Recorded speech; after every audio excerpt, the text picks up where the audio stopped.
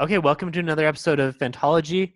We this is a continuation of our previous episode, the 2019 year in review. So another episode of Fantasy News, and today we're going to to tell you what we're expecting in 2020, what TV, movies, books we're excited for, everything fantasy slash nerd culture. And I have Josh and Jake on the line. Hey again, guys. Hello, hello. Looking forward to it. Okay, so looking into 2020, we talked a bit about some MCU movies. I know Black Widow's on the horizon. What's the other one that's coming out soon? It's got a bunch of characters. I think Angelina Jolie and Jon Snow are in it. So, so Oh. we got we got Black Widow May first. The New Mutants is in the X Men universe. I don't think it's fully tied into the MCU, but it's been delayed. It's had some production issues, but it's kind of like a horror flick. We got Morbius July thirty first, uh, which starred Jared Jared Leto. as, That's a like, the- movie? the vampire movie. Yeah, Yeah, Yeah. it's it's in the uh, Sony Spider-Man universe. Yeah, and it has tints. And actually, I I saw that in the trailer. It has the first Peter Parker, uh, Tobey like, you know, his Maguire. Yeah, it has like Toby Maguire in the background, or the the the image of his Spider Man in the Background. Well, it's it's the image of his the Spider-Man suit from his movie taken from the Spider-Man PS4 game. It's like a direct Oh. shot from the PS4 game of the Oh. Raimi suit. So, wow. Okay. A little little bit of an inception there. but- Okay, deep deep cut there. Yeah. The suit. So we got Venom two October second. I actually haven't seen the first Venom yet. Um, it seems like something just always comes up. It was That's, it that's was Tom. That's uh, Tom Hardy. Yeah. Yeah, it was a seven out of ten. Nothing amazing, but it wasn't like bad. That's that was my Okay. take on it. Well, I'll have to watch.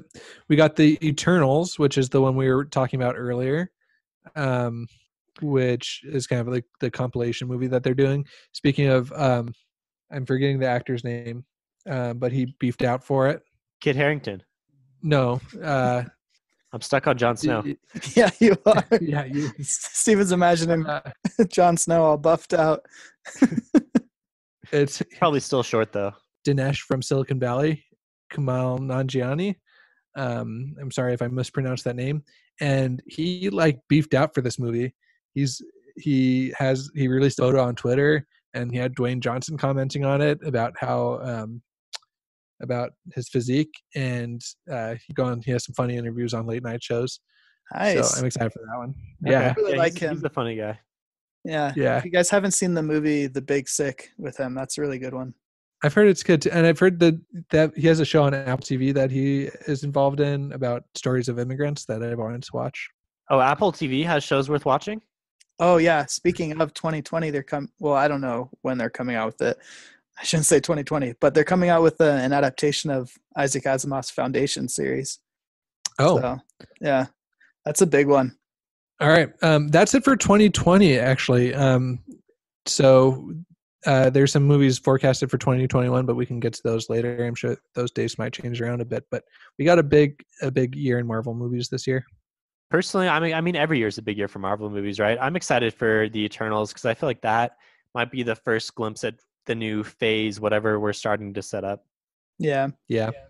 Okay, so we talked about this a little in the previous in the 2019 recap, but Wheel of Time and Lord of the Rings, both in full production by Amazon. Jake, what is your level of excitement out of 10? honestly for both of these 11 out of 10 um, more excited for wheel of time right now just because we already have an awesome um, trilogy of movies for lord of the rings adaptation and then a mediocre one with the hobbit trilogy Yeah. but um, i'm so excited to finally see a worthy adaptation of wheel of time uh, and not be stuck with winter's dragon for the rest of Oh my man. yeah, But, so uh, if you, if you are not familiar with the saga that is the the Wheel of Time TV show adaptation, go do some research. But this has been going on for what 10, 15 years of back and forth with with the owners of the rights and now finally after many little backhanded moves by some parties, we finally have a really high quality looking show that's going to come out. Yeah, it's it. I mean, I don't know the numbers on the budget, and I don't know if they've released that, but you can tell that it. Amazon doesn't want to miss out on the on filling the void that Game of Thrones has left us. So F- filling the void, Jake.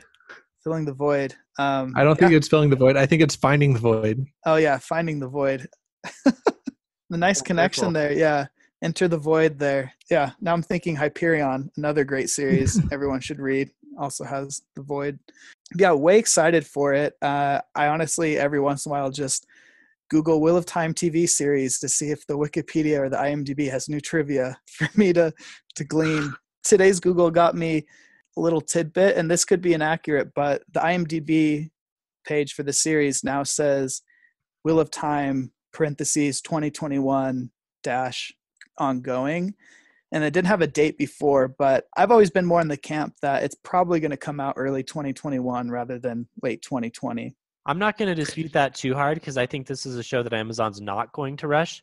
I think Netflix rushes a lot of their shows, which is why you see some kind of lame special effects in The Witcher, for example, like their post production isn't as good. But I agree. I think Amazon's going to take their time here. They know Wheel of Time has the potential to be, out of any show, I think Wheel of Time has the potential to be the next Game of Thrones, if that is possible. And there, there's a huge market there.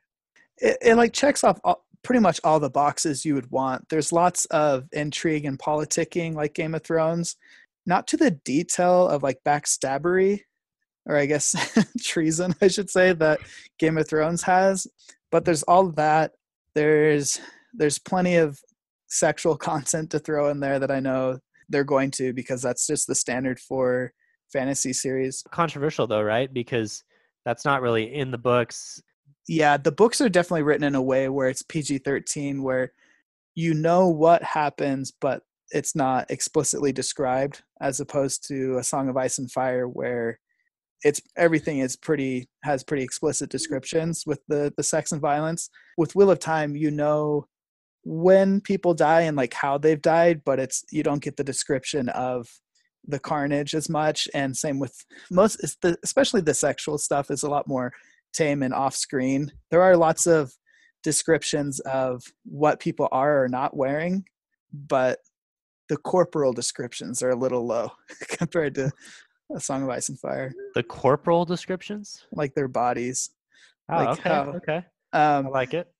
But that being said it gives it gives a lot of room for amazon to make it more explicit to uh, feel what they view the the wants of the viewers are Yeah, so let's go VidAngel. So we've we've been using VidAngel for a while Yeah. to to watch these shows without uh, without all of the content that is frankly unnecessary to the level that these shows put them in. And we've always been saying like, "Hey, VidAngel, just stick around long enough to get through the end of Game of Thrones."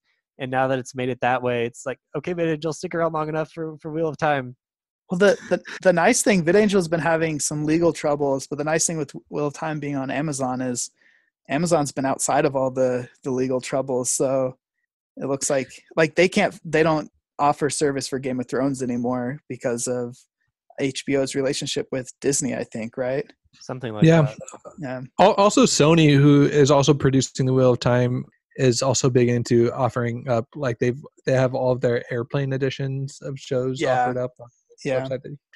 So I, I'm hoping that they stay true to the book. I know that they're going to add some stuff in.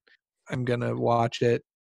Um, No shame. so so so let's see um, in terms of casting we have one the big name attached to it is rosamund pike who was amazing in gone girl um, gave a stunning performance um, and then a lot of uh, smaller actors that are talented from the clips i've seen of them but no other big names So it's basically the same setup that Game of Thrones had, right? With Ned Stark. yeah yeah i mean i think that game of thrones did have other bigger british actors you know that had been in other uh, other shows but um yeah they had the big ned stark headliner so And of course, I meant Sean Bean when I said Ned Stark. Sean Yeah. Bean in the no names. so the other controversial thing about Wheel of Time is the casting. We talked about the casting a little bit, but some have been critical of the diversity of the cast.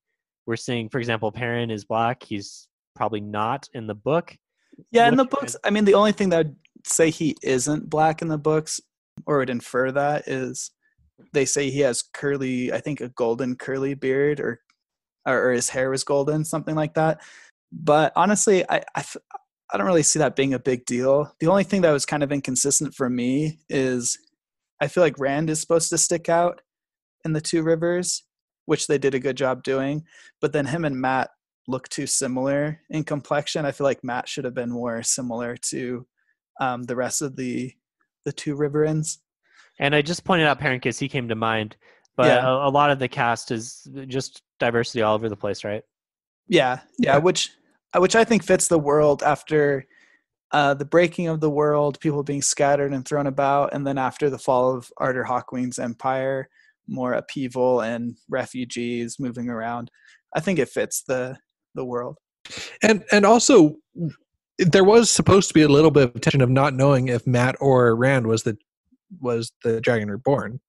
Yeah, I mean, yeah, in the beginning, and I hope they, I mean, don't want to go too much into spoilers here, but I hope they can do a good try for the, at least the first half to f- first season to have the mystery of wait, who is Moiraine really after? Is it Rand or is it Matt or is it Perrin? Because they all have some pretty unique things about them that might. Well, they're all indicate- Tel they're all ta'veren. That's not a spoiler, right?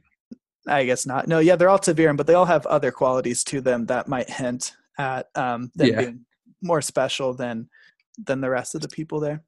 Uh, For me, reading Yeah. the books, it was always super obvious that Well, well, Yeah, yeah, it, it, re- it really was. Yeah, because They're, they're not playing that up. They're not playing that up because in the in the pitch for the show that is published everywhere, it talks about Rand being the Dragon Reborn. I don't know. The pitch I saw said who she thinks one of these boys could be the Dragon Reborn. there's definitely some articles that say it. I Yeah, mean, I the mean, books have been out for 20 Yeah. years, Yeah. more. I mean, I still feel like it's best to stray from spoilers and these things when we can. But Nope, that's Yeah, it, and- America and the rest of the world. Rand al'Thor is the Dragon Reborn. or is he? Is he another false dragon? Um, also, I feel like you're saying that the first book is primarily written through his point of view, so it's it's pretty obvious like who is the main character in the first book.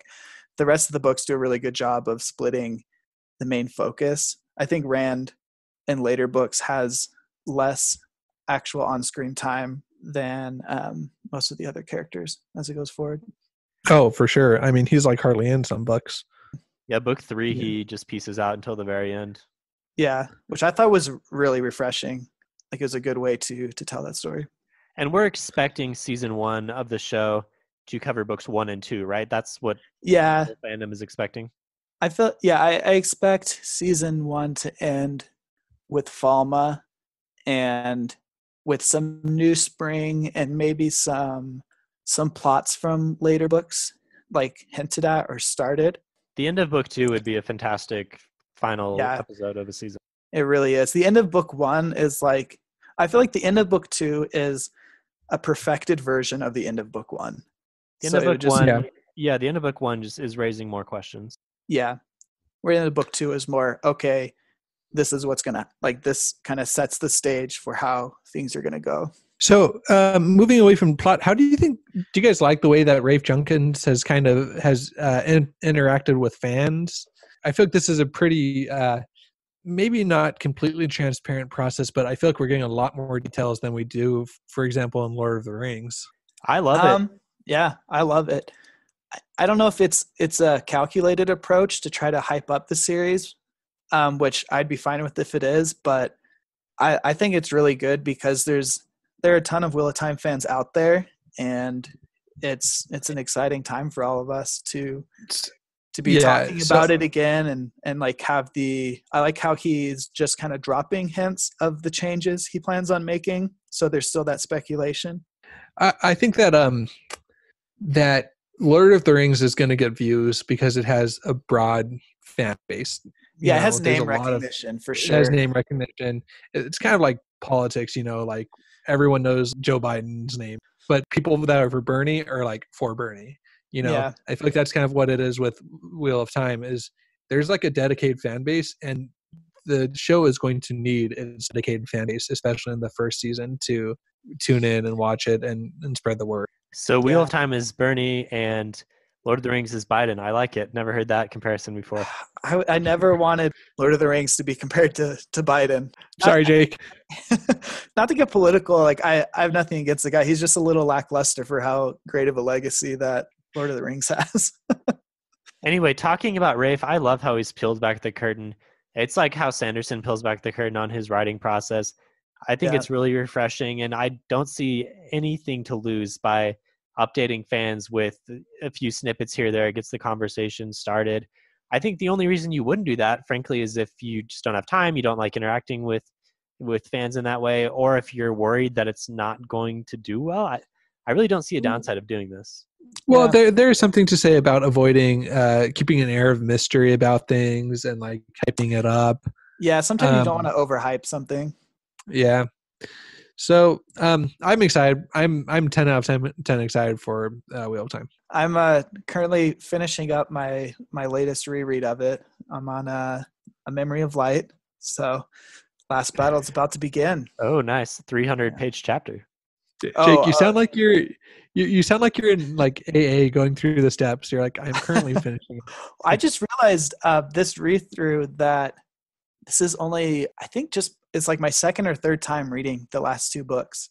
I've read the other ones so many times because I would read read them whenever I was bored or whenever a new book came out. So starting at book one, I've read that one so many times, and as they further down in the series, I've read them fewer and fewer times. And so there's there's lots of things that um, I haven't uh, remembered. So it's like reading for the first time again. Okay. I'm Jake and I am a Wheel of Time fan. yeah. No fanatic. So here's, all right. here's my question. So we talked about a little bit we, privately, we've talked about if we think the show's going to drop all at once or if it's going to be episodic week by week. Let's say it does indeed follow Amazon's plan and drops all at once and it drops on like a Thursday. Are you taking Friday off work and watching the show all the way through? Uh, no, I'm probably staying up Thursday night and then going to work Friday. That's probably Oh. There's happening. enough hours. What if these What if these shows are an hour twenty minutes? I'll watch what I can, do my work, take my lunch breaks, and keep at Take it. your- How many lunch breaks do you have? I guess it's one day. Yeah, just my lunch break. You're like a hobbit? But, uh, yeah. So you're going to suffer through the show. That's your plan. You're going to suffer as you watch the Dude, show. I'm enjoying it. I'm fully on one, maybe two episodes a day. I'm Yeah. taking Friday. I'm taking Friday off work and watching it. That's my plan. honestly i don't know it depends sometimes sometimes with these things i can have like great self-control and just do a few episodes at a time that's what i did when uh stranger things season three came out um just because life was busy and i was like you know what this is fine i can do that but it depends if i don't have much going on i can easily justify just dumping all my time and energy into watching the show All right, I'm You gonna know, start. I'm gonna I'm gonna start working on you. By the time it comes out, you'll be over at my place watching the show with me. honestly if i can convince emily to watch it with me then we're we'll, we'll take our time so The the question is, do I do I buy a plane ticket or do we all meet in Vegas at Ben's house man and just shut ourselves away? Man, way to call out where Ben lives. No privacy Sorry. anymore. Yeah, no, I'm just Fantology, kidding. Fantology fans rush to Vegas to meet it's a small place. You'll find him real quick. That would be awesome. Honestly, I, we should try to plan that. Or for the cabin. finale. Ca- cabin trip. cabin, cabin trip. Cabin. Go to the cabin. Emily And then hates it when I call it the cabin. We have to. Uh, so we're gonna work in reviews, right? Are we gonna do one review an episode? Maybe Dude, this is just one at the end. We could all do it together. It'd be fantastic. th- th- this Yeah. is what we do, guys. Just let's plan a cabin trip that weekend. Let's go up. Let's all let's just binge watch. We can watch maybe two, three episodes at a time, record reviews, and bust this thing out. All right, Yeah. there it is. We're doing it. Join our join our Discord for an invite to the cabin for a watch party with us. Yeah, everyone's invited. There's We we can live stream this thing. yeah, yeah. We'll be big by then. Okay, so moving off Wheel of Time, we talked a little about Lord of the Rings. Honestly, I don't know much about the show. Like they've announced some actors, none of them are people I know. It's really hush hush. So this is why I say I like how Rafe's peeled back the curtain because we have a lot to Mhm. talk about on Wheel of Time. I'm not that excited about Lord of the Rings. I'm for sure gonna watch it, but I don't know anything about it. honestly i think i think they're still in the um i feel like they still are in the writing phase because all they've released is that it has to do with the second age and that it isn't a story that's been told before and there's a lot of there's a lot of time to fill in there so like it could be it could be anything and i think they're still trying to piece that together and figure out how they want they probably want the series to last a bit of time i don't know if they want to do anything like marvel with it where it's this huge extended thing but I feel like they're still in the planning phase. Hopefully, they take their time on it.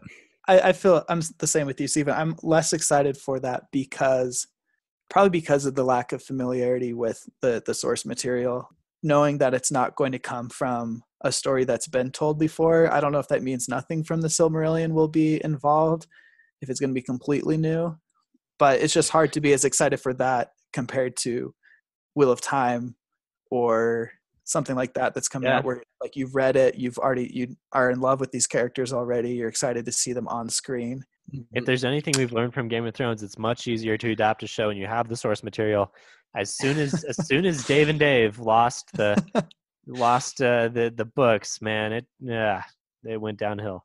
Yeah. So the other big adaptation that's coming out this year is the uh, Dune adaptation adaptions, or what, what do you know about this? So there's a movie at the end of the year. There's a TV show, something about like Dune, the Sisterhood, that we don't know anything about at all. There's a bunch of big name actors attached to the movie, though. Have you guys have you guys read the book? No, I haven't. I didn't finish it. I think I got like halfway through it, but I want to go back and finish it. Ryan did not like it. I loved it. It's more fantasy, honestly, than it is sci-fi. Like it takes place on another planet, but it's basically fantasy in in the way it's set up. There's this this sisterhood that are basically like Aes Sedai kind of. And so I, I assume the show is going to just kind of delve more into their backstory because you get a little bit of it in the book, but it isn't like a look inside the White Tower as you would in the Wheel of Time. I really liked it. It's like a Shakespearean sci-fi fantasy tale. Lots of intrigue and plots and subplots. I'm down to read it before the the movie comes out. It's a quick read too. I feel like it's like three or four hundred pages. Names attached to it. I think we have Oscar Isaac, Jason Momoa, Khal Drogo, and Aquaman. I think there were a couple more too. So some some big names there. I guess we're expecting the movie to be pretty good. Okay, so moving off TV and movies, let's talk about books this year. So this is a this is a big year. We have finally a new Dresden Files. It's been since 2015. So book 16 Peace Talks is coming out in July, and we actually just covered book one, Stormfront of Dresden Files, and we'll keep on reading through those in preparation. We have Rhythm of War, the most anticipated book of the year for me. Yeah, that's what I'm most excited about. And then we have a new Poppy War book. Josh has read that and recommends that series. We have a new Joe Abercrombie book. So I think this is like the second book of a second trilogy after the first Law book. The first book called A Little Hatred came out last year and got really good reviews. Has really high ratings. And then the next book I think is called The Trouble with Peace. So two peace related books that are probably not going to have any peace in them at all. And then I guess there's a new Hunger Games prequel. I don't know anything about this. I don't know if I'm super excited for that one. Honestly, Hunger Games came out, and again, this was me being my the book snob that I am sometimes. I just thought they were this YA book series and didn't really give it a time of day. But then when I watched the movies, I was like, oh, this story's really good. But so I haven't read the books, but I heard that this prequel book is supposed to be about how President Snow came to power, I think. So that's about as much as I know. Let's attach some dates to these announcements too. We got uh, May 19th, 2020 for uh, the new Hunger Games called The Ballad of Songbirds and Snakes. Uh, Is that Um, obvious ripoff of A Song of Ice and Fire? That title? Ballad of Bird Songs and Snakes? Like, Okay, uh, yeah, I, I'm not going to disagree with you. We got um, the Poppy War Book 3 um, called The Burning God that is coming out May 28th, so just a week later. And I'd imagine some overlapping uh, fan base there. We got Rhythm of War is going to be released on November 17th. Boom. I might I might take a day off work for that one too. yeah, that's Yeah. one. That's. I hope he does the thing he did for Oathbringer, where the months up to it, he releases. He released like a third of the book by the time the book was officially out. Unfortunately, it was the most boring part of the book, but it was cool. Yeah. I mean, it was it was a good way to do that, like because it keeps you excited, waiting for the next chapter, and then by the time the book comes out, you jump into the the meat. So, and then we got Peace Talks coming out July 14th. We got a little bit of a wait until books start coming out, but um, once they start coming out, they're gonna they're gonna pour. So I'm excited. Joe Abercrombie book, The Trouble with Peace, he just tweeted that out yesterday actually. That's a September release, but I didn't see a date attached to it. So I know we are probably forgetting books coming out this year. If we are, uh, please tweet at us or join our Discord. We want to hear um, new and exciting books, and we are open to reading new and exciting authors. Okay, now as we close here, let's talk about three other books that every year we anticipate the release of, and we have never seen them come out to date. The books are Winds of Winter by George R. R. Martin, Doors of Stone by Patrick Rothfuss, and The Thorn of Emberlain by Scott Lynch. And we've been waiting for each of these books. I'll give Scott Lynch a little bit of a pass. I think he came out with his most recent book maybe like 2013 or 14. So, I mean, you know, six or seven years, that's not quite as long. But Winds of Winter and Doors of Stone, we have not seen an entry in these series since 2011, nine years ago. Are they going to come out this year? So here's a conversation that we had on Discord, kind of a hot topic, is what responsibilities do authors have and what expectations are proper for fans to have? I think that's what it boils down to. Yeah, I don't know. I'm I think it's totally fine to be anxiously anticipating a book and to be disappointed when projected deadlines aren't aren't met. Like author says they expect to have the book out in 2015 and it's 2017 and you google it and Amazon still says this book is to be released in 2015. Like that's that's pretty disappointing. But that being said, I, it really bothers me when fans see Patrick Rothfuss or George R. R. Martin doing other projects, and then they say, "Hey, stop doing that. Make this art for me. Make this work like this book for me. Serve my needs." It's like I was thinking about this analogy. It's like the the books they that the authors write, the fans are like Gollum, and to them the books are the the ring, and they get obsessed with it, and it takes over them, and they become these toxic fans where all they want is more of the ring. First of all, like it's not like it's a Lego set with these instructions that you just put together and there you go, there's your sequel. That's perfect. People have writer's block. You you hit creative ends, especially George R. R. Martin has so much pressure on him now with the disappointing end to the ser- to the TV series, trying to finish like the actual book series in a way that fans will embrace. And Patrick Rothfuss as well. You know, we talk about disappointing ends or disappointing endings in TV um, for 2019, but here's some more endings. Endings are hard to write. Stephen, let's get a response. Valid points. So here's the thing. I agree that yeah, we never want toxic fans roasting the authors on Twitter and saying they're lazy and fat and play video games and shouldn't be streaming on Twitch when they need when they have a book to write. That's not fair. Life happens, and it's their sure it's their job, but they don't need to be slaving away for you. So yes, 100% agree there. However, I do think they have some. There's a bit of a contract with their fans, right? The fans have bought the books. The fans enjoy the books, and they would like to see the books written. So I think there is some expectation if you're going to release a book and, and take in a bunch of money and be a public figure that you should get to work. So I don't know.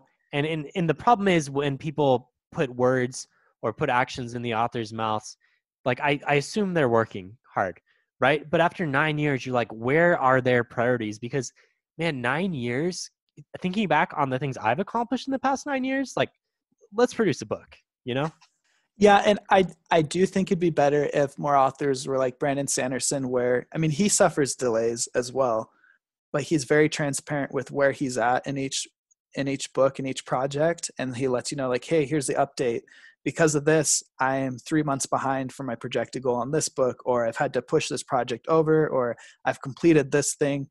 That would be really helpful, especially for books that have been on the docket for so long. But at the same time, I don't. I think it's toxic to even say like they owe you another book. Like the authors aren't just writing books for fans; they're creating the book because they wanted to create something. So when's the deadline? do they? I don't think I don't think there is a deadline. No they, deadline. They could just die and leave the series unfinished, and that's fine.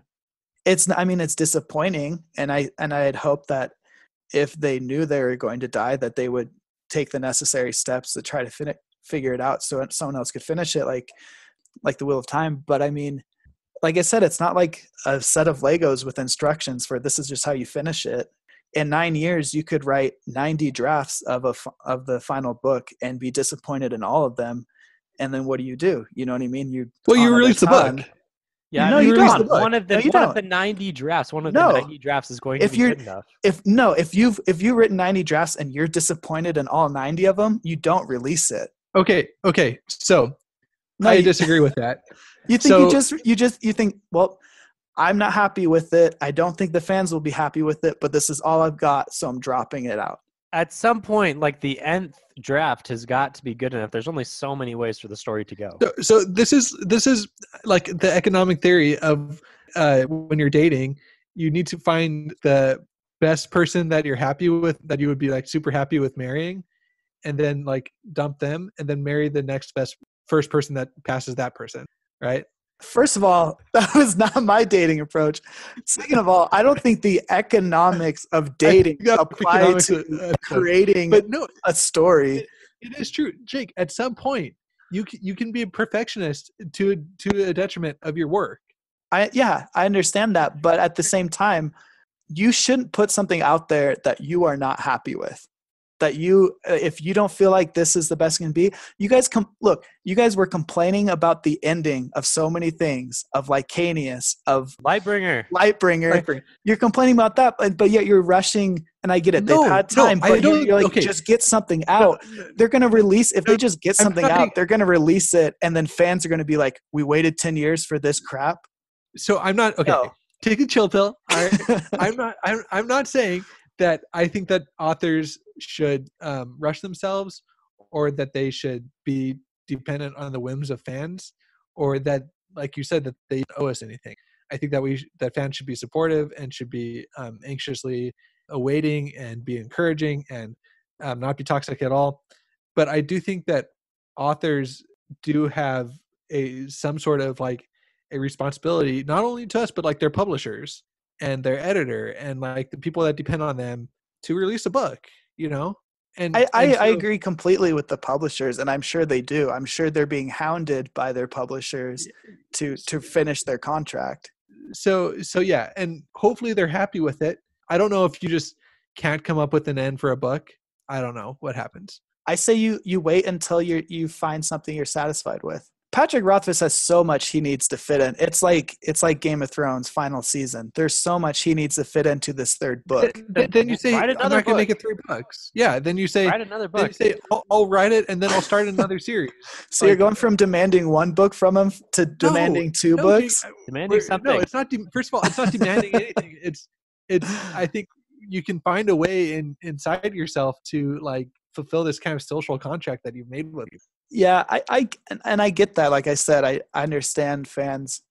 Like I am sad and I am like frustrated that the Doors of Stone isn't out yet. Less so with Winds of Winter, probably because we got an, an ending to Game of Thrones or- and the TV Or, show. or you just or and it's all about expectation too. If you if authors just if you just went and said, look guys, like I this might not have an end. I might not be able to come up with it. And you know who's a good example of this, of this is Stephen King. He at multiple times did not like has freely admitted to um, everyone, to uh, his publisher, to fans that he did not know how the Dark Tower was going to end, and that actually makes its way into like, that book series itself. And he was upfront and honest about it, and good on him. And if then it wouldn't have ended well, or if he would have never finished it, then th- then at least people knew that. I agree with Yeah. you on that. I agree with that they should be more upfront. I agree they should be more transparent and give regular updates for how things are going. But I don't feel like they haven't been just they haven't been honest with it. Um, Patrick Rothfuss has said he has he's had a draft of Doors of Stone various times finished, and it hasn't been up to his standards. So he's he's let people know like he knows how it's ending. He just you know he's trying to get there with it. I mean, it'd be better if he could say like what he's Yeah. working on, but also if you're if you're beating your head against something and people are constantly hounding you on it, you don't want to So- be like you don't want to respond to every Twitter question. Yeah, hey, yeah, yeah, and I don't think so either. So, and I, I'm not saying that he should just release that draft that he has, but I think that personally, like a strategy might say, I'm going to give myself till 2025, and I'm going to take 2024 and look at all the endings I have and pick the best one and publish it. No, yeah, I know? agree. That there there should be some some sort of update given just just for personal accountability in that matter. Yeah, So George R. R. Martin told fans that they could lock him up in a shack if he didn't have it out by mid-year, right? But I think he's already uh, gone back on that one. he's he's not in the shack. Uh, no, fans have not locked him up. I think he is still a free man. Still Hopefully, at right- large. Okay, so hopefully you've enjoyed that little debate. we're excited for a lot of things in 2020. Let, let's just say one more time do not be toxic do not like be insulting these authors that are trying to give you can have opinions about like how they should write or whatever but do not be like insulting these people on twitter or like harassing them at uh, at comic-con or whatever like just be a good person and Just just be like the Ogiers and the Ents. Don't be hasty. don't- don't- All right, Fantology All right, sorry. Podcast recommends being a good person. And on that note, we will see you next time. Actually, we're gonna do we're gonna try to do fantasy news throughout the year. So now that we've got all this big stuff out of the way, we'll we'll do more monthly updates on things we're excited for and, and the new smaller details. So until next time, see you later. See ya. peace